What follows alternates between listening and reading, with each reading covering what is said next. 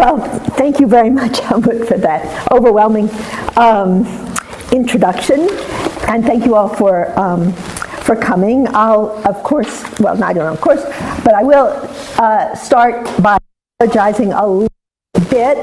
Um, the title of the talk is sort of misleading. That is, it's just the title of the larger project working on right now. Was the thing that occurred to me when the title was required. Um, and so, as Helmut said, it's about the changing ways in which wildness has been understood, mostly in the Anglophone world, over the last few centuries, and specifically with relation to non human animals. Among other things, I'm asking what difference do these changes make to them? What difference do they make to us? So, my project is related to the discussion of wilderness that has mostly been focused on the landscape at large, that's been envi- elaborated by environmental historians over the last few decades, but it's not exactly part of the middle of that discussion.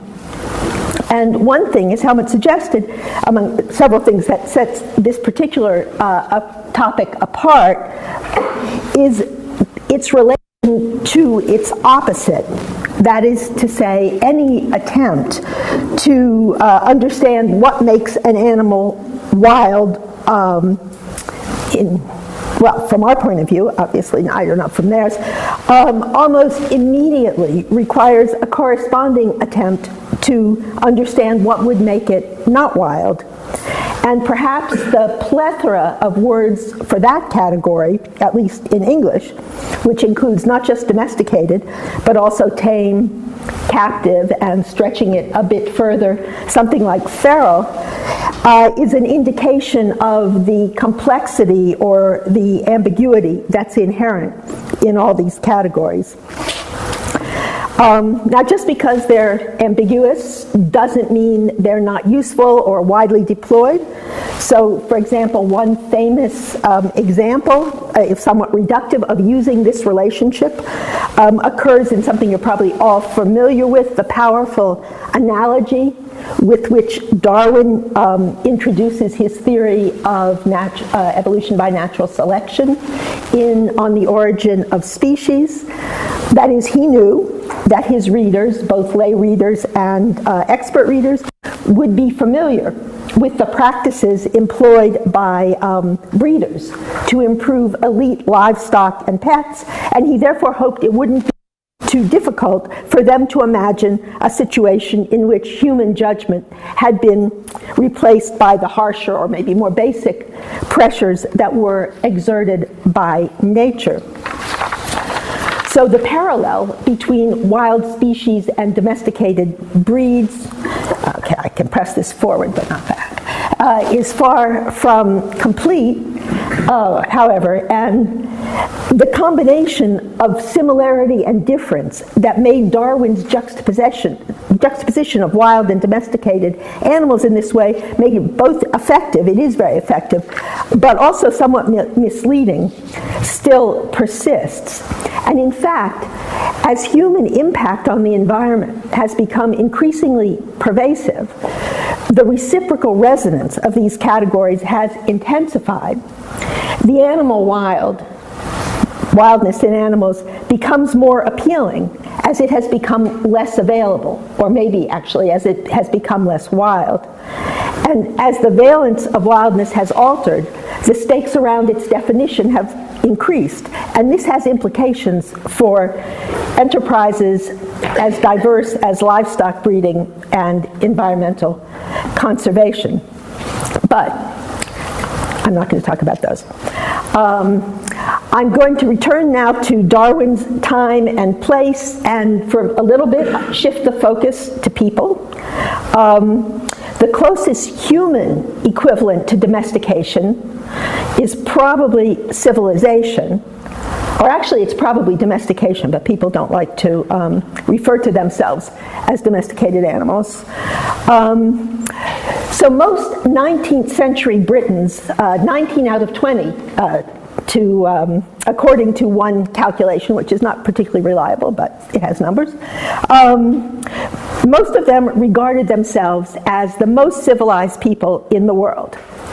And in fact, other people shared that assessment, even if they didn't think it necessarily made the British all that good, even if they usually, if they used it to criticize British nat- national failings. So, for example, in a treatise on social reform, an Irish uh, legislator he lamented, he said, civilized England has a greater percentage of her children sunk in the most degrading vice that ever afflicted mankind than any other nation under heaven, which vice was drunkenness. But most declarations of superior English civilization were more positive.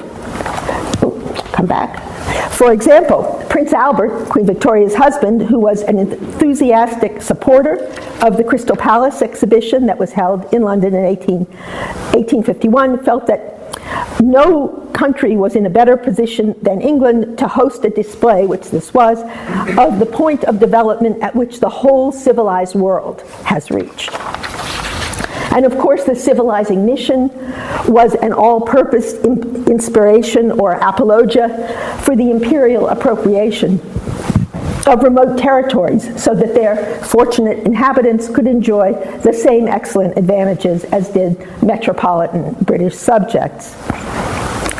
Now, especially with regard to remote exotic colonies, one frequently rehearsed benefit of the British Imperium was the triumph of civilization over the wildness or savagery that was considered uh, by colonial officials and, and their masters to prevail in such places. So, at least from the perspective of symbolism, one of the most important duties of local officials in the British Raj, for example, in South Asia, was the protection of vulnerable villagers from dangerous wild animals, especially those that could be characterized as man killers, or even worse, or maybe even better, as man eaters. Um, and this is. Um, actually somebody in the 20th century who, after he finished killing a load of tigers, became a great um, advocate of uh, uh, animal protection and has national park named after him in East Africa. Um, anyway, but one late Victorian, 19th century district officer, someone who was stationed in an Indian forest, he boasted that he closed his courtroom immediately. He said, whenever news was brought of a tiger, panther, or bear anywhere within 20 miles, so he closed his courtroom, grabbed his gun, and went out and shot it. Um, another one, such uh, official who'd served in Ceylon fondly remembered, he said, the grateful people ready to bless the white man who freed them from the incursions of dangerous foes.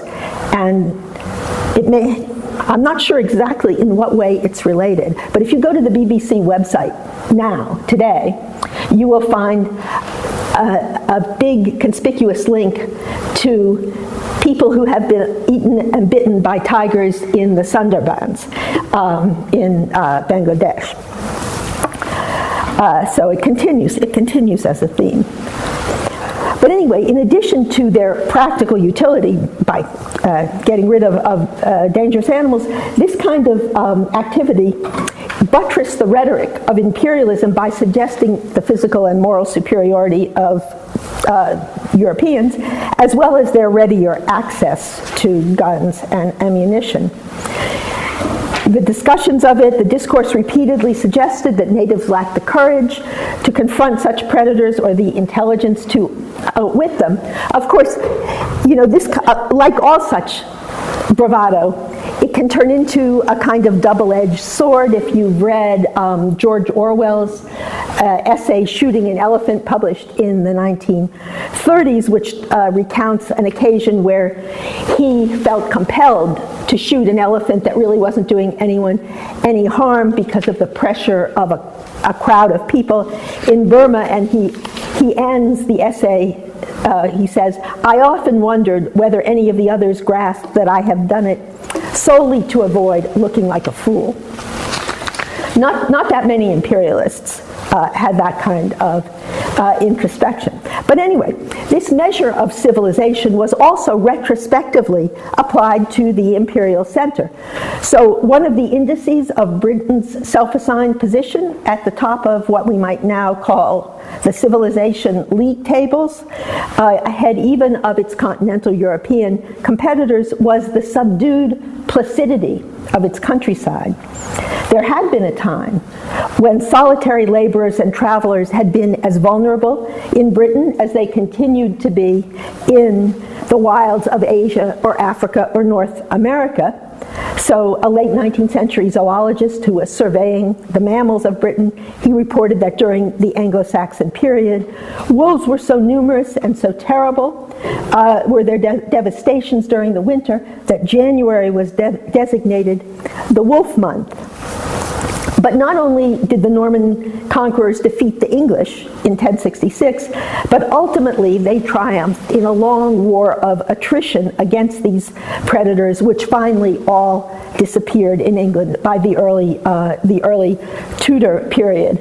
So a Victorian naturalist called James Edmund Harding reflected in a book that was called um, the, the Extinct Animals of Britain, he said, the moors and woods and glens, which we now traverse so securely, were infested with ferocious animals, not just wolves, but also bears and wild boars.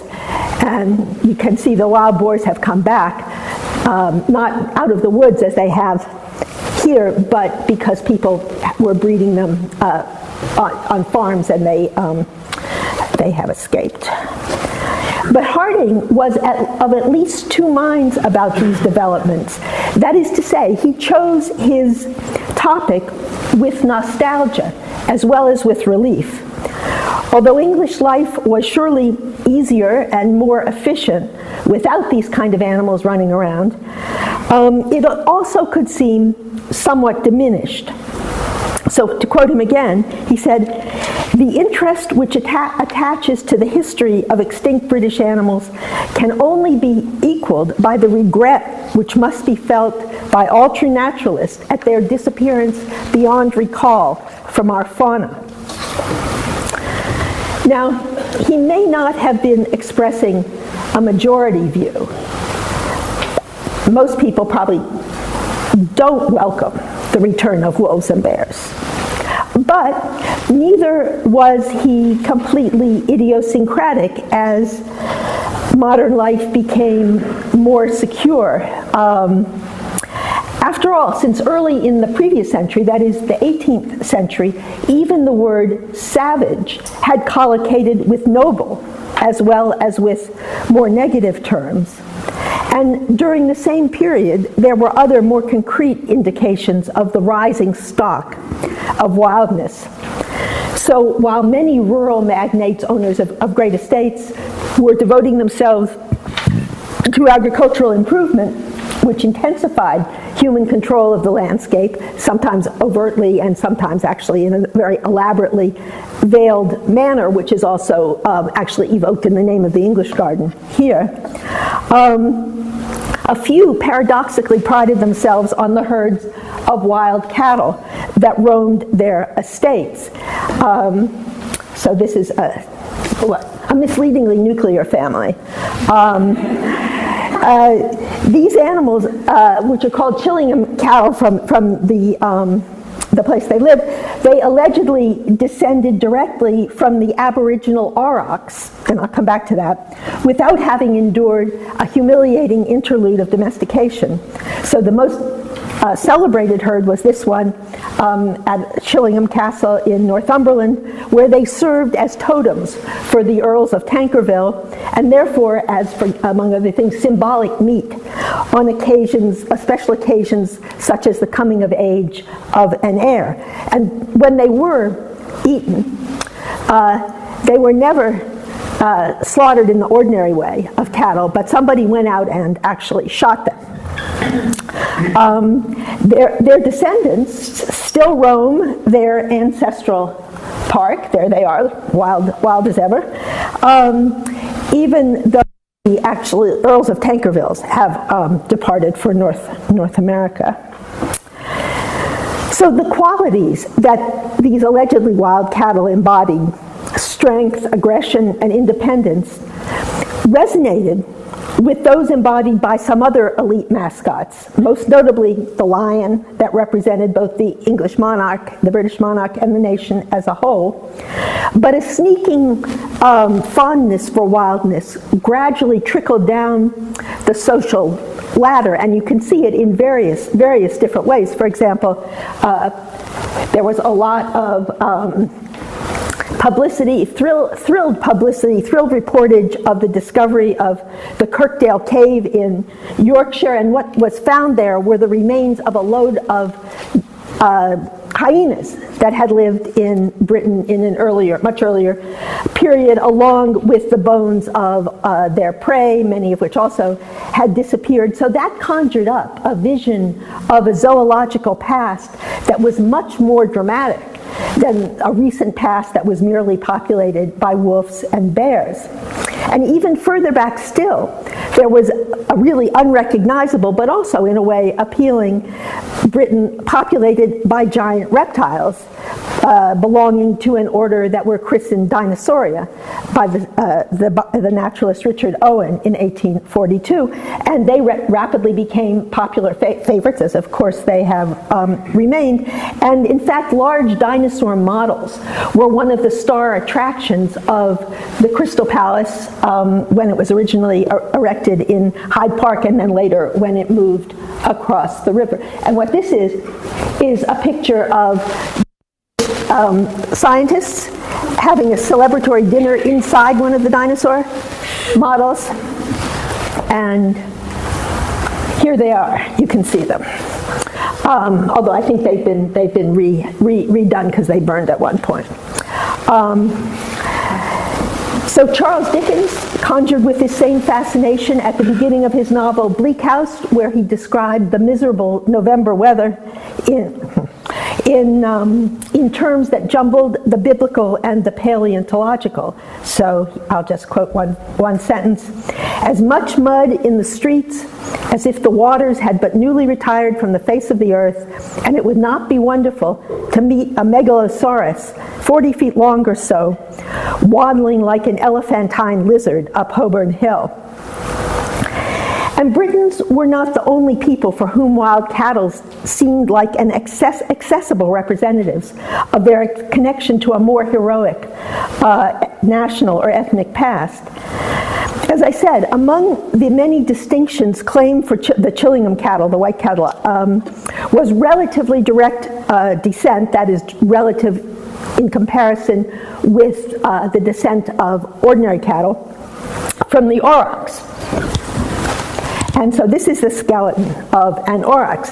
The or, just uh, an the aurochs is the ancestor of all modern domestic cattle, including the hump zebu cattle of South Asia and East Africa. None are now alive except in, I suppose, strictly cladistic terms, the same way you would say maybe birds are dinosaurs. Um, but they haven't been extinct for long. The last one was a female, was killed in 1627 in what is now Poland. So in addition to loads of bones, there is lots of human testimony about them, beginning with the paintings on uh, cave walls. This is an aurochs from Lascaux in France. They were hunted by um, the Romans who made horns, hunting horns, uh, instruments out of their horn horns. And this is not a Roman one, but allegedly, uh, it's a more recent one, allegedly made not from the last aurochs that was a cow, but the last male aurochs. Um, and they figured in the bestiaries compiled by a list who might actually. This is from uh, 1556. Now, despite this long coexistence and this plethora of evidence, they seem to have slipped quickly out of mind as well as out of sight. By the time that wildness was beginning to exert its distinctively modern appeal, the appeal we all still feel, the confusion that's noted in the cap caption of this image uh, had become persuasive. And what it says is ignorant people call me a bison.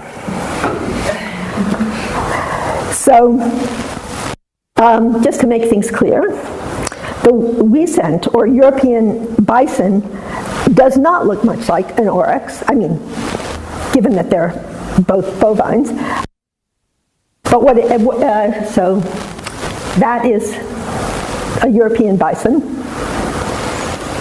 What it looks like is an American bison. This one is bigger and hairier, but basically it's the same, the same kind of idea. They're the only two extant members of the genus Bison uh, in current taxonomy. But nevertheless, they were uh, routinely confounded, not inevitably, but routinely. So in 1847, a popular sports periodical excitedly announced that the London Zoo had received the most important addition that has ever been made to it in its 20 years that it had been operating at that, that point, which was the aurochs, or European bison, part of the last remnant of this noble race. Um, the sight of which will carry back the classical reader to the German wars of Rome and the paleontologist to the days of the mammoth and the mastodon. Of course, the sports pages don't, don't sound like that uh, anymore. But, and this kind of confusion was actually exacerbated also by scientists. Um, several de- de- W. Boyd Dawkins, who was a distinguished paleontologist. He was the professor of geology at Owens College, which was the predecessor of the University of Manchester. He focused on relatively arcane nomenclatural ambiguities addressing the ge- geological society. So he said, but he came to the same conclusion. He said the synonymy of the Bos urus is in a state of very great confusion arising from the fact that the two words denoting two distinct species, the urus and the aurochs, are derived from the same Sanskrit root. But despite this learned preamble, he asserted that the term aurochs has been restricted to the European bison by the authority of Buffon, Cuvier, and Professor Owen. The term urus, or Bos urus, to the species under consideration by Julius Caesar, Pliny, and other writers of the 6th to the 12th century. But not everyone was confused, whatever their level of expertise. So, um, periodical called The Ladies Newspaper easily made the distinction that's now recognized by current consensus, noting that not many years back, two specimens of the European bison were under the rather, rather puzzling name of aurochs exhibited in the Zoological uh, Society. But interestingly, the connotation of this label remained the same, even though its denotation could vary. That is, the animal in question, whichever animal it was, was always noble and rare, imposing and threatened, associated with royalty often. So the fact that the significance of the aurochs remained constant, whether it was an extinct cow or a living bison, strongly su- uh, suggests that a large component of its appeal was in fact uh, symbolic or metaphoric. It was a representative, whether already extinct or on the verge of disappearing, of a wilder, stronger, nobler, and purer Europe and the importance of this set of associations is also suggested by the aurochs' most, more recent fans. By the end of the 19th century, most that the wild aurochs was extinct and that however engaging bison or wisents might be, they were something different. But that didn't mean that everyone was happy about this situation, that is to say, uh, extinction. And somewhat paradoxically, the refinements in the theory and practice of domestic animal breeding that had been developed in the 18th and 19th centuries have inspired a series of attempts to resurrect the aurochs. So in the 1920s and 30s, a couple of German brothers, uh, Heinz and Lutz Heck, uh, attempted to recreate the aurochs by the, a technique called breeding back from various uh, European cattle breeds um, that, in their view, had retained char- characteristics that were um, primitive. They proceeded independently. That is, one brother was based here in Munich, one was based in Berlin. Um, they actually had different originating ideas of what an aurochs, should look like. They chose different breeds as the basis of their uh, reconstruction, and they also nurtured them in somewhat different settings. Zoo here, uh, more expansive uh, fields or pastures in Berlin. But nevertheless, they both succeeded in producing uh, an aurochs, and they um, both agreed that each other had done it. Um, now, other observers have been more critical. Um, some of this criticism was practical, since the brothers, both of them, concentrated on superficial characteristics like horn shape and coloration and so forth. Um, and also, neither one of them actually kept very good records of the cattle they started with or, or what their, um, uh, their, their pedigrees had, had been um, a comparison of uh, someone's idea of what a, an actual aurochs would have been like and what the uh, cattle um, were like. So obviously one thing, they're not as big. Um, and some of the criticism was political, since both brothers were associated um, to different extents with the National Socialist regime, and since the symbolism surrounding this allegedly primordial European animal was readily incorporated into a certain strain of Nazi thought. But although the reputation of the Heck brothers diminished greatly after the Second World War, their cattle have continued to enjoy a kind of niche esteem um, herds are scattered across Europe, mostly I think just because people like them. You can see they're very fetching. Um, but also in um, some places like, oh, I'm, I'm, not going to do a good job with this, uh, in the Netherlands, um, where there's an attempt to recreate a pre-agricultural European land, uh, landscape. And sometimes the various associations that the breed has accumulated uh, over, over time are combined, jumbled, uh, as in the somewhat mischievous headline of an article that was published in 2009 by the Times, the English uh, uh Times. Um, and this the headline says, A Shaggy Cow Story, How a Nazi Experiment Brought to Devon. And discrediting the Heck brothers hasn't meant the end of efforts to bring back the aurochs, inspired actually by rather similar understandings and values. According to the Taurus Foundation, the aurochs has always been at the very root of the whole idea of a continent called Europe. It is, in fact, our continent's defining animal. Uh, so, starting in 2008, the foundation has been using uh, modern technologies to develop a breed called the Tauros, so spelled like tar- Taurus, but with an O. And there he is. Um, and that's being introduced in various rewilding locations around um, Europe, although it's also still in process of being refined and improved.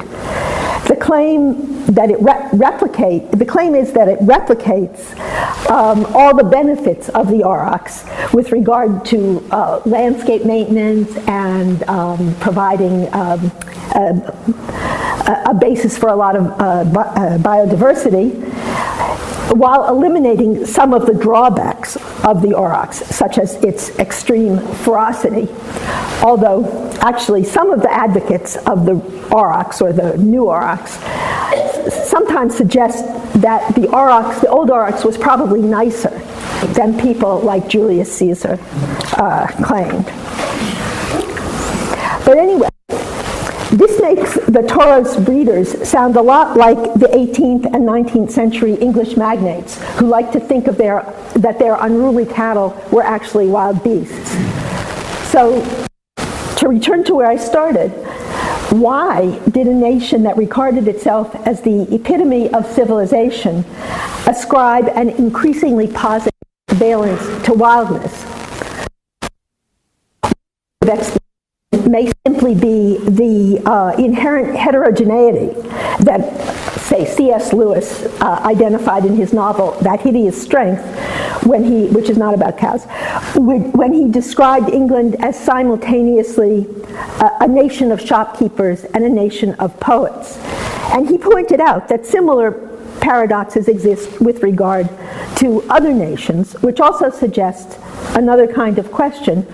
So, why was a quality like wildness perceived, whether accurately or not, as characteristic or desirably characteristic, in any case, of Britain, when it was also at least equally characteristic of many other places?